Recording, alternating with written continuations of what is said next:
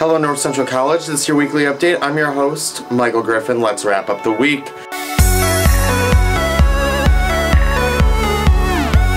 On Tuesday, the U.S. held its midterm elections to reallocate the balance of power within Congress. Republicans were expected to win by large margins in the House of Representatives and potentially even take back the Senate. However, to, many, to the surprise of many political analysts, Democrats overperformed in many of their races. Democrats had a strong showing in states like Georgia, which is setting its Senate race between Raphael Warnock and Herschel Walker, to a runoff election in December. Democrats were also able to flip a Senate seat in Pennsylvania after electing John Fetterman to the Senate on Tuesday. Republicans were able to make some gains in the House, though, and were able to hold on to Wisconsin's Senate seat. As of today, as of filming this, we are still waiting on results from Arizona, Nevada, and Alaska for Senate, and a handful of states to determine control of the House of Representatives.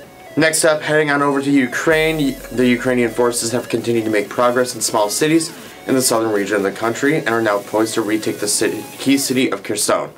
This is yet another blow to Russian forces and President Putin's plans to take over Ukraine. As Russian forces from the area begin their retreat, Ukrainian forces were able to retake roughly 60 square miles of land.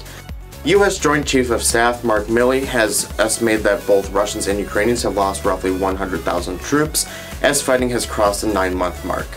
Fighting is expected to slow in the coming weeks and months with the onset of winter, and some nations are making a case that it might be a good time for the two nations to consider peace talks.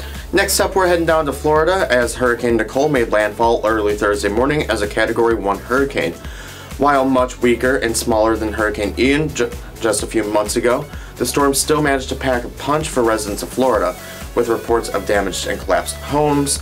Hurricane Nicole has now been downgraded to a tropical storm as it continues to dump lots of heavy rain on the state.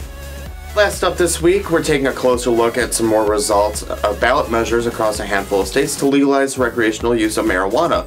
Ballot measures during the midterm elections were voted on directly by residents in Arkansas, Missouri, Maryland, and North and South Dakota. Missouri and Maryland overwhelmingly voted in support of the amendments to their constitutions. However, the vote did end up failing in Arkansas and the Dakotas.